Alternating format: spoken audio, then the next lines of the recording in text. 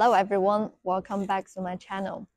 Uh, recently, uh, in China, on Chinese social media, um, there are some quite popular uh, social um, influencers.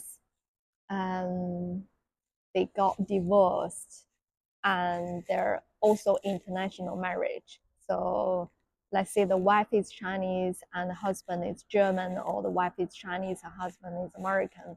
A few couples, they're all quite popular couples on Chinese social media, and they all recently announced they are getting divorced.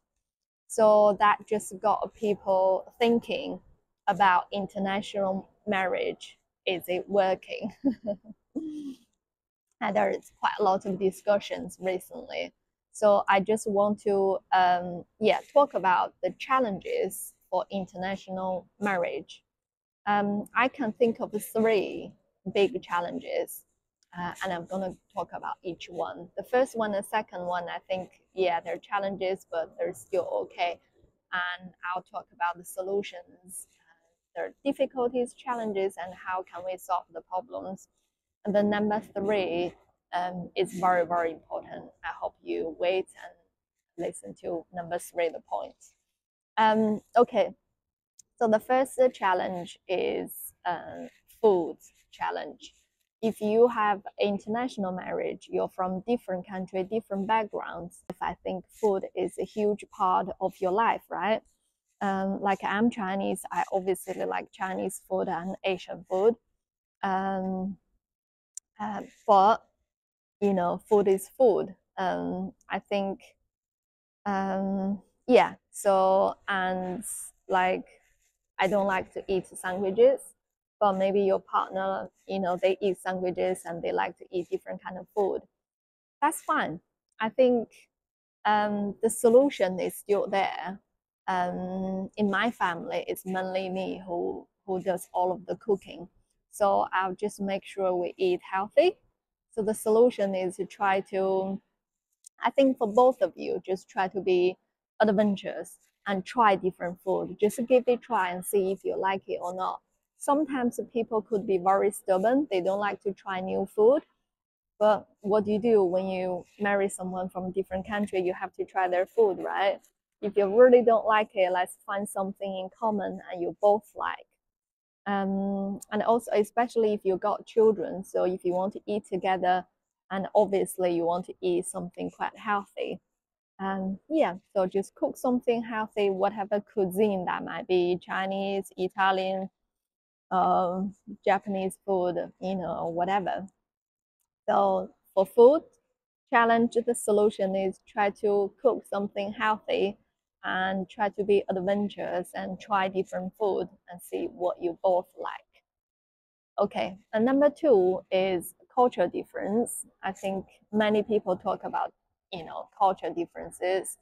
And when you're from different culture background, you have different culture. Um, I think the main thing is you need to really understand each other's cultures and understand it and respect it. That's very, very important um, for your marriage. So make sure you two, before you get married, spend enough time, if you can, live in different countries, you know, your country and your partner's country, and really understand the culture and the people and how you think. That's that's very, very important um, because many people they can't really get on or they got problems they got issues because they don't fully understand each other's culture. And you know they say okay i don't like it and that's enough. And so that's very important. Make sure you understand and respect each other's culture. Um, the reason i said is why this is very important is because it's going to affect your life your marriage life later on. I give you a very simple example. For example, uh, in China, um, it's our law. We got to look after our parents when they can't look after the when they can't look after themselves or they don't want to go to a care home, and you have to look after them, and that's you, know, you have to look after them. You know, they're your parents. You love them. You know, you want to help You know, that's our law in China. If you don't, then your parents can simply just sue you, send you to court, you know, and then you have to look after them. So that's very important. Well, for example, here in UK, you know, you, you don't have to. It's not your law, right? Um, as far as I'm concerned, that's not your law. You look after your parents because you know they need because you love them and you want to, and um, or if you think you can't, they can go to a care home. Um, yeah, so um, it's very important you need to understand because if you don't, I guess you're gonna argue a lot. Um, because when your your parents, for example, if my parents uh, in China, if they need any help, and I need to make sure somehow I can help. Um, yeah. Um, and also, uh, the other example I know, I know in many Asian countries, um, um, people they let's say they work in different countries and they still need to send the money back home to their parents or their families to support them. You know that's another cultural difference. If you marry someone let's say from india or from uh, philippines just a simple example there are other countries they do the same so they work and and they got a salary, they want to send maybe half or, or whatever percentage of their salary back home to support their family. That's that's that's what they do, and they always been doing that. And imagine if they marry someone British, and your British husband said, "Oh, hang on a minute, we also need the money, and you can't do that anymore." So that's kind of things you need to have agreement before you get married, and how are you gonna do it? You know, because you know like say if you're married and you want to send 30 or 50 percent of your salary to your mom and dad back home but your husband doesn't agree because we got a family we got children we need the money you know? Um, and from your point of view it's your culture right but from your partner point of view you know he's also right because you got your own family now you also need it I'm not saying who is right, who is wrong, but the cultural difference is there. So make sure you both have agreements. And when you have issues like this, talk about it and make sure you solve this problem.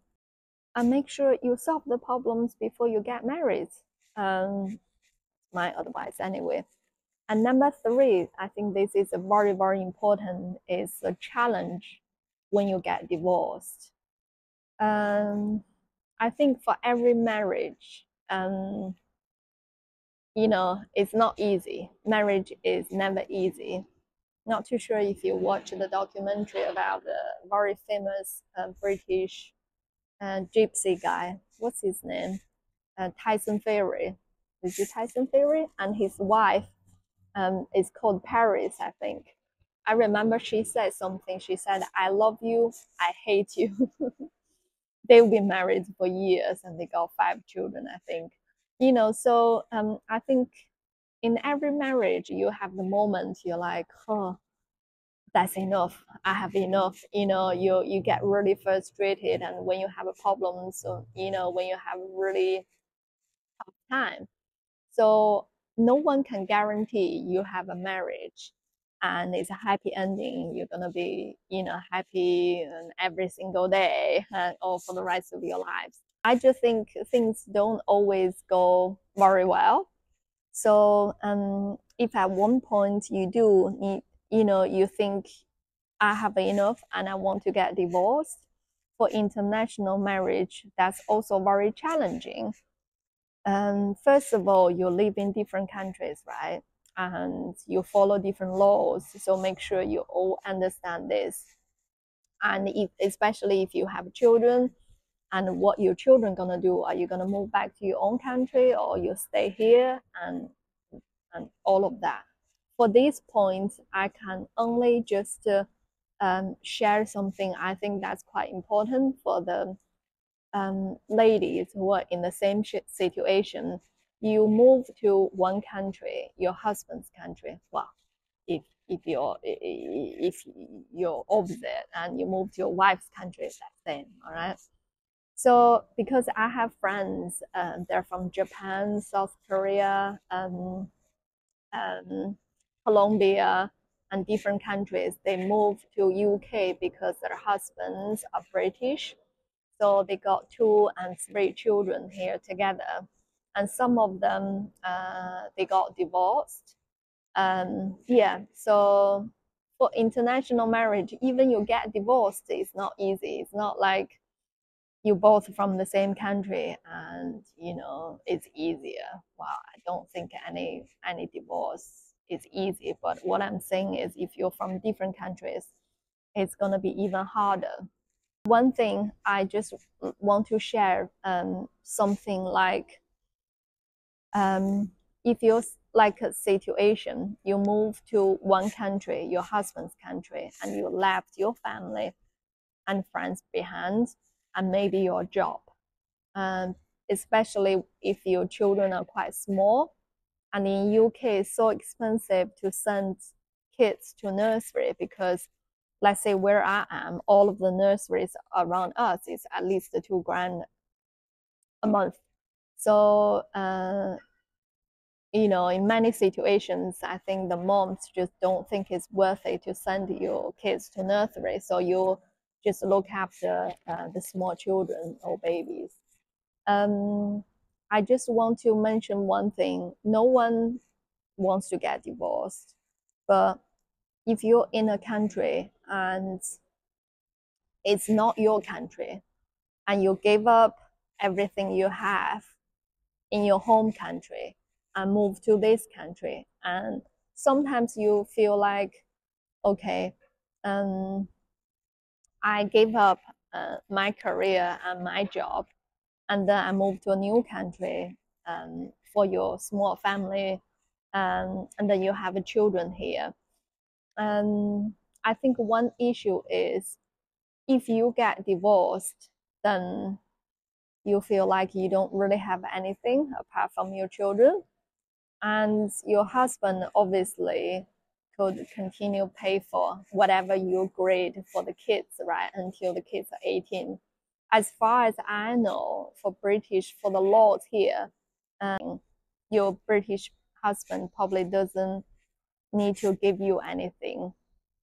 And imagine if you got no jobs and you got one or two or maybe three children and you're in that situation, what are you gonna do? Are you gonna stay here or are you gonna, you know, move back to your own country? So these are all the things we need to consider. Um, but again, I don't want to talk too much about divorce or these negative things, um, even though things like this they do happen. So for the ladies, well, or gentlemen, if you're in this kind of situation, and what can we do? I just want to maybe just suggest people like this situation. You leave your home country and you move to your own country for you move to a different country for your partner and you got your family here you got children. Um, and also because especially when children are younger um, there is only one of you can continue to work and usually uh, i'm not saying i'm not saying every family but usually it's the husband they go to work they can continue to clap up their corporate letters and the older they get, the more working experience they have. So they're actually adding up their value, you know, for themselves. But for the ladies, you stop working, which means you don't have working experience and you look after the family, you look after the kids. Um, that's what I'm saying. If you get divorced, you're in a not really good position. So the solution for me, I think what you can do is even though you're not working, still try to think a plan. Are you going back to work? And then when? And also check your degrees you get or the qualifications you get because different countries, you know, you might need degree, different degrees. Make sure you uh, check that. Um, if you were, you know, a, a doctor, for example, in your home country, But in UK, you can't work straight away because you need to check. I think it's called the GMC. It's kind of like a website. You need to make sure you register and you know. Anyway, whatever you did before, whatever your job was before, make sure if you could continue to work in this new country, and if you want to do that, and what kind of things do you need to do? Just start preparing and start checking um, and if you don't work, is there anything interesting you? Do you want to be a baker or do you want to be a hairdresser or whatever you want to do? You know, just, just slowly, gradually look into it and see how you can still uh, carry on working or uh, chase up your own dreams. Um, yes, and just stuff like that. If you don't have anything while you're looking after your younger children, uh, is it possible for you to work part time or is it possible for you to study um, like part time? Just all of these things you need to consider. And um, for example, myself, um, I was a freelancer, like a Chinese and language um, interpreter. And when I moved here, um, uh, COVID really ruined our industry. That's another story. So I didn't work too much, and my second daughter was born here, so she was a baby and very small, and I just mainly look after her and look after the family. But now children are bigger; they're in school full time, so I could do more work, and I need to think uh, how I get more work, and you know, just stuff like that. So anyway, uh, whatever you do, just make sure you maybe prepare, prepare what you need to do and consider it. Do you want to go back to work? And if you do, what kind of things do you need to do? Do you need a new degree? Do you need to get registered? And what kind of preparation you need to do? And or if you want to continue uh, to study and what kind of you know like major would you like to what kind of stuff would you want to study or you just want to be a freelancer or what do you want to do? Because ideally you can do something while you look after your children. Maybe you can work part-time that would be brilliant. If not just think what kind of things you can do at the same time. So when you get divorced i wish everybody has a very happy marriage but when you're in the situation, you feel like you need to get divorced, you're in a better position. You could either, you know, you're already back to work and you got salary, you could support yourself because like I said, your husband probably only pay for whatever you grade for your children, but not you. Well, when you think about it, sometimes I think men and women is not really fair. I think even for local people, for British, I know many moms they give up their jobs to look after young children and the family. And then, you know, if they get divorced, you know, anyway. So I think it's some kind of like it's same. It's just for international marriage it's probably a little bit difficult for the women if you're in the same situation like I described earlier. So yeah, that's all I want to share. Um, and life is not easy and it's kind of like a little bit heavy when we talk about getting divorced, but it does happen. So um, yeah, so when you know we have problems, we try our hardest to solve the problem. And if we can't, and if you're in the stage you need to get divorced, and what you need to do? Um, especially for international marriage, yeah, there is some more to consider to think about. Anyway, I hope everyone has a very happy marriage and um, yeah, and have a lovely day. Bye.